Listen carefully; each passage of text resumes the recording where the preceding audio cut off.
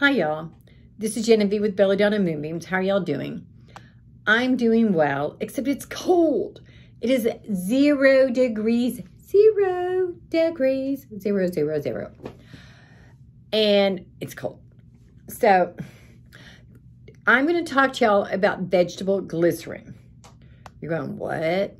Vegetable glycerin and oil will keep your body spray or perfume together.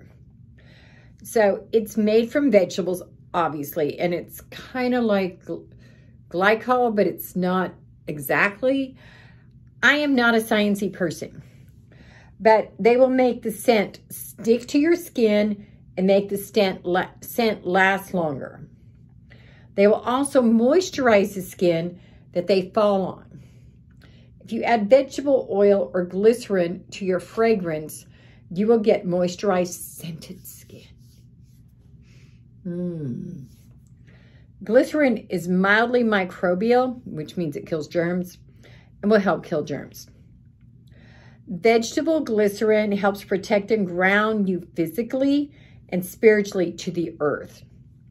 It also acts as a shield and a purifier against all negative energy, grounding the negative into the earth and neutralizing it.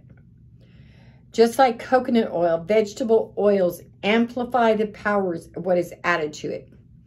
So for example, if you're using it in a love spell, it raises that vibration.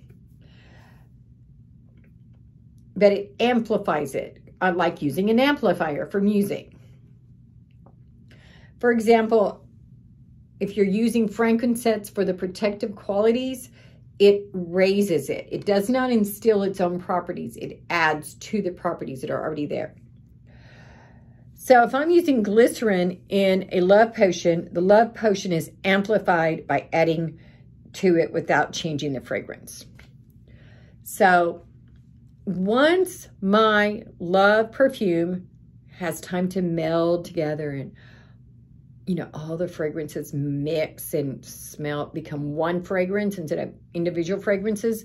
Then I'm going to add um, moon water and I will add glycerin to stabilize it.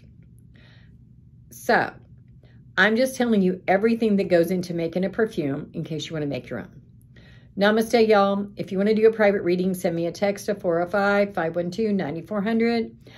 And of course, subscribe to my YouTube page so you'll never miss another ingredient again. Bye-bye.